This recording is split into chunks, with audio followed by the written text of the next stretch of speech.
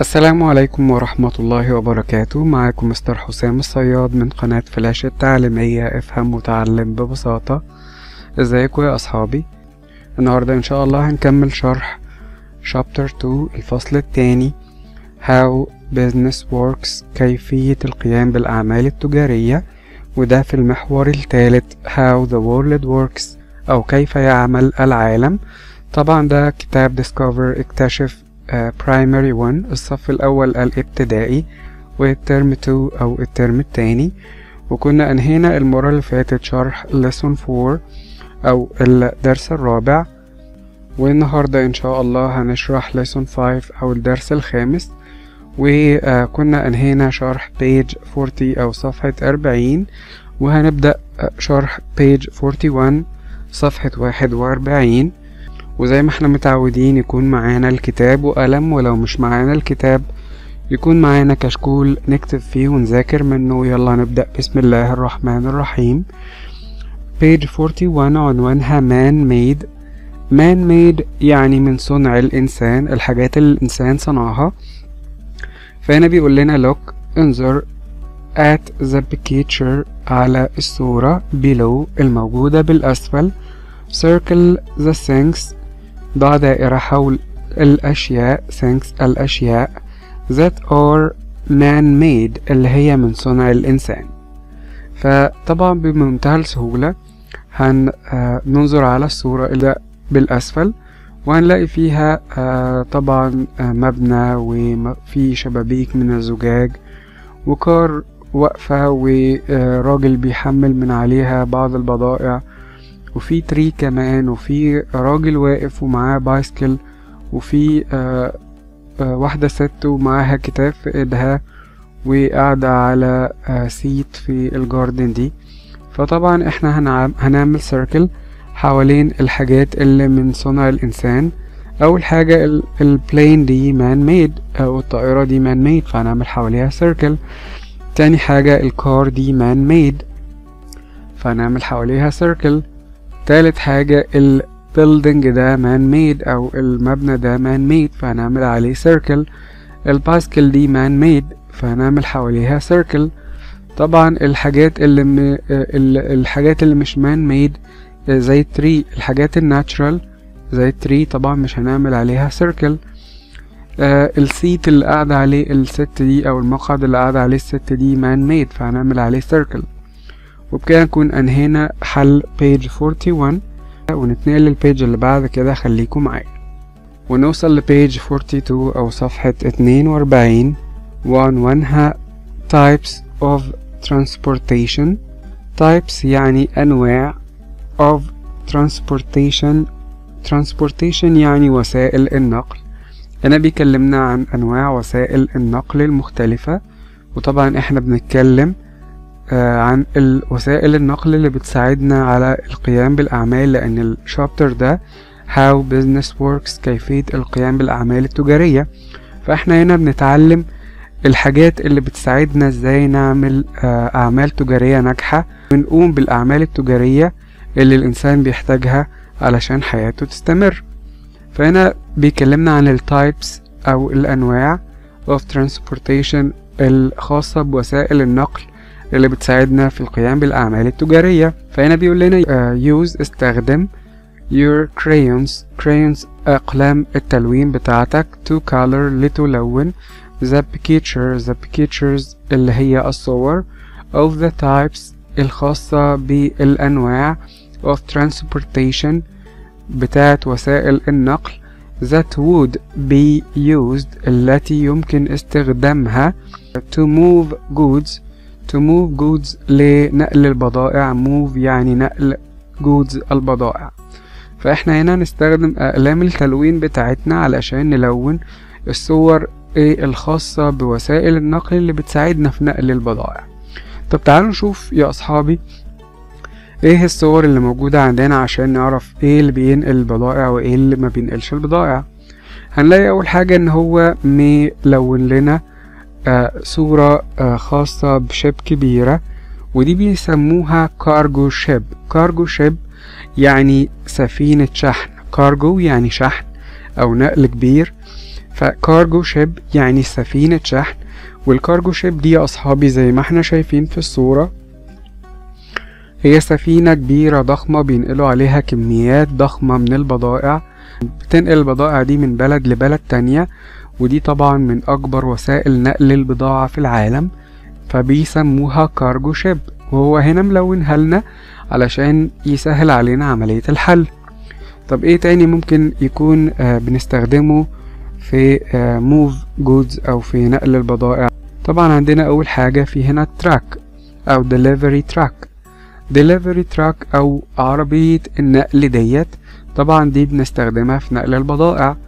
فهنلونها بال crayons بتاعتنا طب دي آه سفينة آه مش مش cargo ship دي سفينة. الناس بتتسافر بيها وبتتفسح بيها بين البلاد. دي اسمها cruise ship cruise ship أو سفينة سياحية. اسمها cruise ship أو سفينة سياحية. طبعا دي موجود فيها آه شبابيك علشان النور يدخل والهواء يدخل للناس. لأن طبعا السفينة ال cargo ship بتنقل جودز أو بضائع والبضائع دي طبعا non living أو غير حية فمش هتحتاج لا للهواء ولا للضوء. علشان كده مش مهم يكون فيها شبابيك ومش مهم يكون فيها أماكن يدخل منها الهواء لكن الكروس شيب أو سفينة السياحية اللي بتنقل الناس موجود فيها شبابيك وموجود فيها مداخل للهواء وللضوء كمان علشان هي بتنقل living things أو كائنات حية اللي هم البني آدمين. فشكلها بيختلف كتير عن شكل ال cargo ship وزي ما قلت هي اسمها cruise ship. وطبعا دي ما بنستخدمهاش في نقل البضائع فمش هنلونها. طب تالت صورة فيها ال sailing boat sailing boat أو آه مركب الصيد.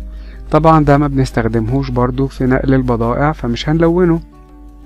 في آه رابع صورة في البلين البلين أو الطائرة.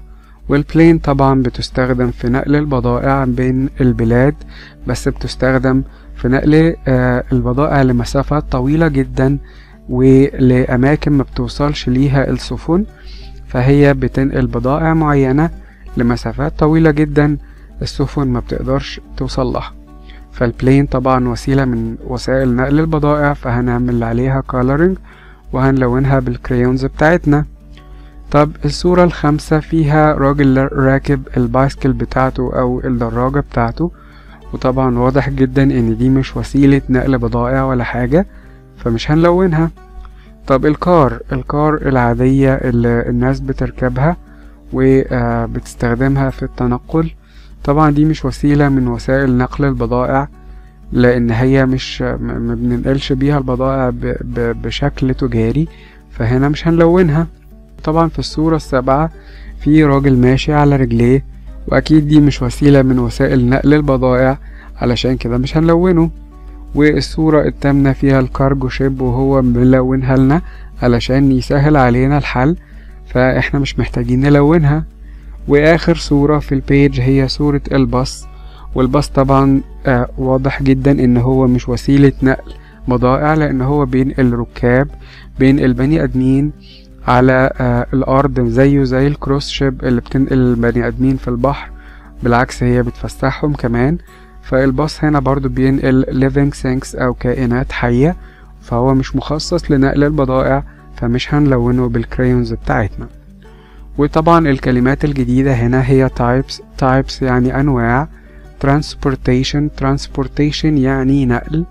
Use استخدم. Crayons أقلام. التلوين.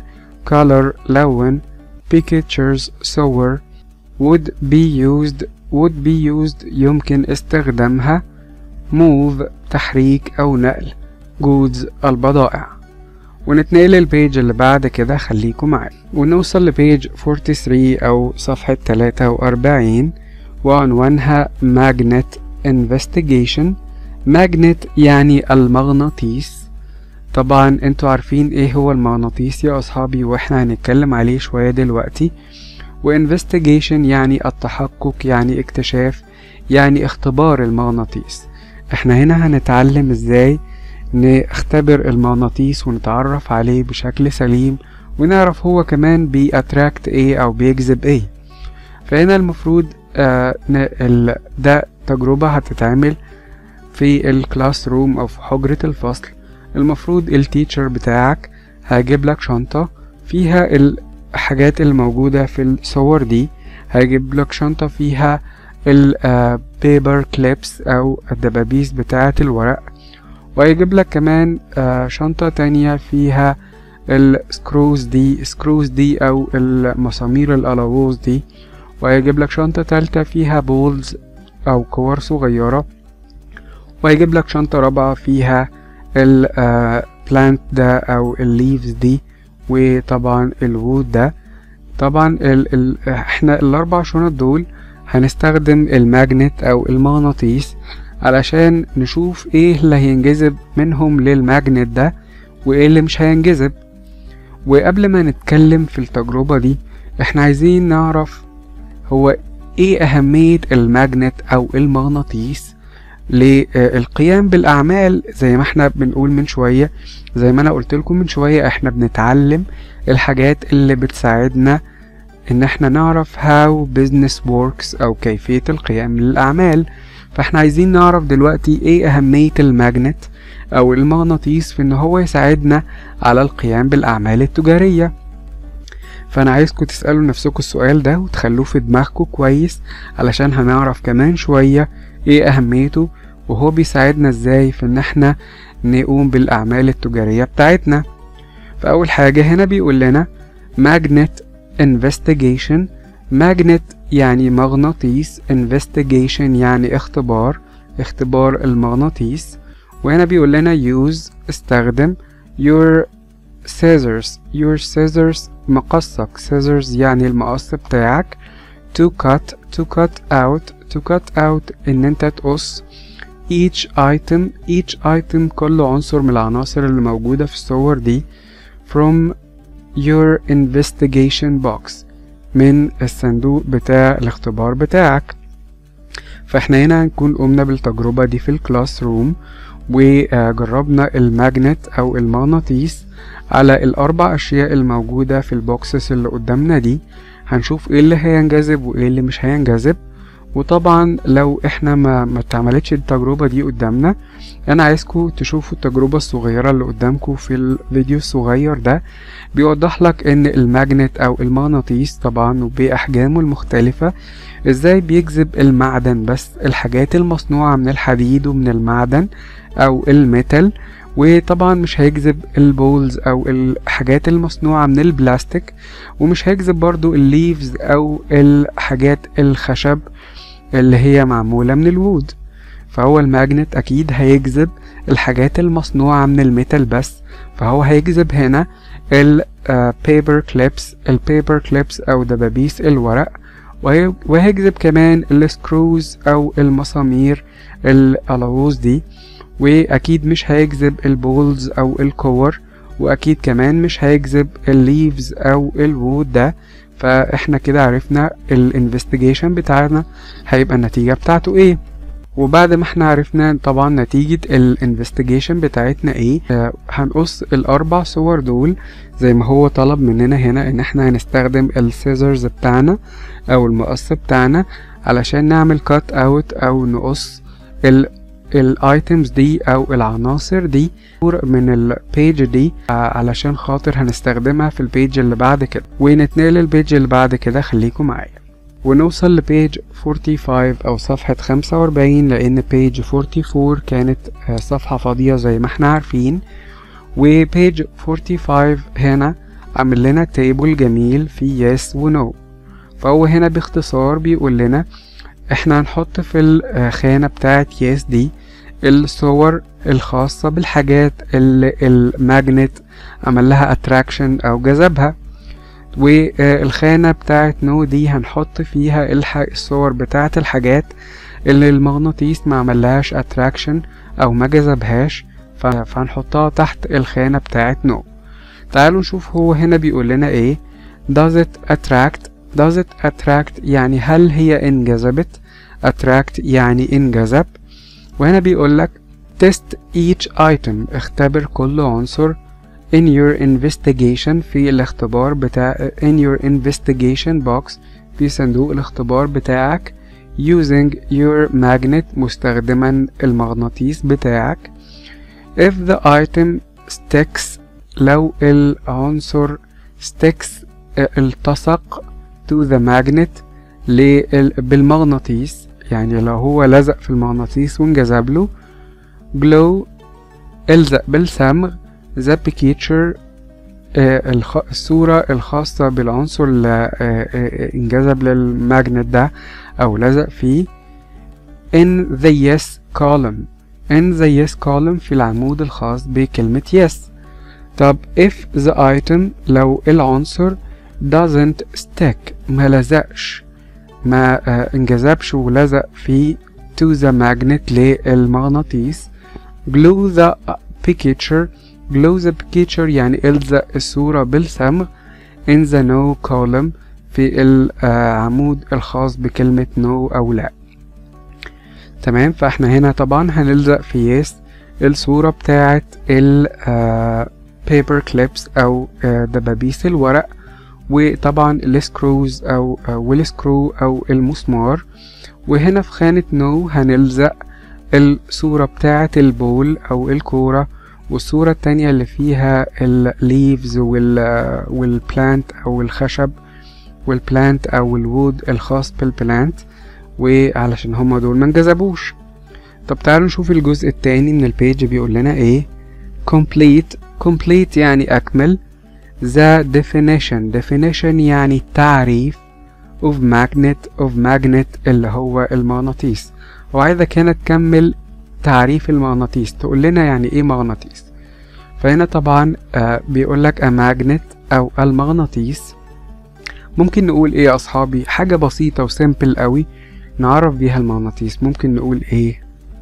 ممكن نقول attract metals attract metals يعني بيجذب المعادن صح؟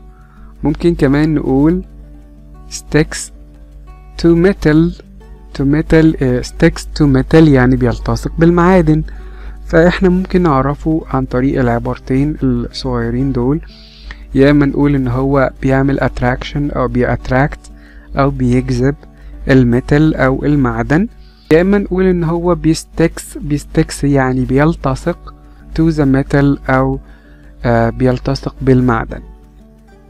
وطبعا إحنا عارفين يعني إيه كلمة metal أو يعني إيه كلمة معدن. وبكده نكون آه أنهينا ال page دي ونتنقل لل page اللي بعد كده. خليكم معايا. ونوصل ل page 46 أو صفحة 46 وهنا آه عنوان ال page compass compass يعني البوصلة. وطبعا إحنا زي ما سألتكم السؤال آه من شوية سؤال مهم جدا. قلت لكم إيه هو فايدة ال magnet أو المغناطيس في آه القيام بأعمالنا التجارية أو إن إحنا نستخدمه في ال business works بتاعتنا؟ طبعا آه دلوقتي هنجاوب على السؤال ده. الكومباس يا أصحابي أو البوصلة هي طبعا أداة بيستخدمها الإنسان علشان يعرف الاتجاهات. وزي ما إحنا شايفين دي صور ليها آه وزي ما إحنا شايفين دي أشكال ليها مختلفة آه البوصلة بتتعامل باختصار آه عن طريق دايرة بيبقى موجود مكتوب عليها الاتجاهات north north يعني شمال east east يعني شرق west west يعني غرب وساوز ساوز يعني جنوب. فزي ما إحنا شايفين هي فيها أربع اتجاهات ودي بوصلة مرسومة أو ال compass rose زي ما بيسموها وردة البوصلة. دي صورة بتبقى مرسومة ليها لكن هو شكلها الحقيقي بيبقى قريب من ده زي ما إحنا شايفين في الأشكال التانية كده. فهي بتبقى فيها ال N ده اللي هو اختصار لكلمة north أو شمال وال E اختصار لكلمة east أو شرق وال W اختصار لكلمة west أو الغرب و, و أو الغرب و south اختصار لكلمة الجنوب. فزي ما إحنا شايفين بيبقى ليها الأربع اتجاهات دول. هي بتساعدنا إزاي يا أصحابي؟ هي بتبقى موجودة بالشكل ده وبيبقى فيها في النص إبرة الإبرة اللي بتتحرك دي. الإبرة دي بيبقى فيها نصين نص بيشاور على الجنوب أو ال south ونص تاني بيشاور على الشمال أو ال north ال- الإبرة بتشاور على ال north جو- جنب منها بيشاور على ال north والناحية التانية أو الطرف التاني بيشاور على الساوث أو على الجنوب طب بتنفع في إيه البوصلة دي يا أصحابي؟ إحنا ممكن آه لو قبطان ما- ماشي بالسفينة بتاعته في عرض البحر ومفيش حواليه علامات في الطريق خالص وهو آه مش عارف اتجاه الشمال من اتجاه الجنوب والشمال طبعا آه هو بي بي بيبقى آه اللي هو موجود فوق زي ما إحنا شايفين. فلو هو مسافر لبلد وهو عارف إن هي موجودة في اتجاه الشمال هيمسك البوصلة ويحطها على كف إيده بشكل موازي للأرض بحيث إن هي تبقى موازية للأرض على كف إيده وكف إيده مفتوح ويسيبها كده. هي الإبرة هتلف شوية وهتتحرك شوية وطرف الإبرة اللي بيشاور على الشمال هيشاور على الشمال. والطرف التاني اللي بيشاور على الجنوب هيشاور, هيشاور على الجنوب فهو هيعرف من هنا الاتجاهات وهيعرف آه آه الشمال من الجنوب أو النورث من الساوث وبالتالي هيقدر يحدد الاتجاه اللي هيمشي فيه على أساس البلد اللي هو رايحها. يعني البلد اللي هو رايحها لو هي في الشمال أو في النورث هيوجه ال- السفينة بتاعته في الاتجاه ده. لو هي في اتجاه تاني هيوجهها برضو في الاتجاه اللي هو آه، المفروض يمشي فيه. وبكده آه، نكون عرفنا استخدامات ال magnet أو المغناطيس في القيام بأعمالنا التجارية أو في إن هو يساعدنا إزاي نقوم بأعمالنا التجارية عن طريق إن إحنا نعمل بيه البوصلة أو ال compass دي زي ما إحنا شايفين دلوقتي. وهنا طبعا بيقول لنا complete the picture. complete the pictures أكمل الصور. وإحنا هنا المفروض إن إحنا آه، عرفنا الصور آه، مكتوب هنا north فهنكمل هنا north وهنا west وهنا south وهنا east وهنبقى عارفين يعني إيه كلمة compass أو يعني إيه كلمة بوصلة. وبكده نكون أنهينا lesson 5 و lesson 6 كمان. وأنهينا الدرس بتاعنا النهاردة. لو أعجبك الفيديو اعمل like والأهم إنك تشارك الدرس ده مع أصحابك على مواقع التواصل الاجتماعي والواتساب. وخليك متأكد دايما إن في حد غيرك محتاج المعلومة بجد وهتفرق معاه كتير وإنت مش هتخسر حاجة بس غيرك هيستفيد. وفي الختام أستودعكم الله الذي لا تضيع ودائعه. والسلام عليكم ورحمة الله وبركاته.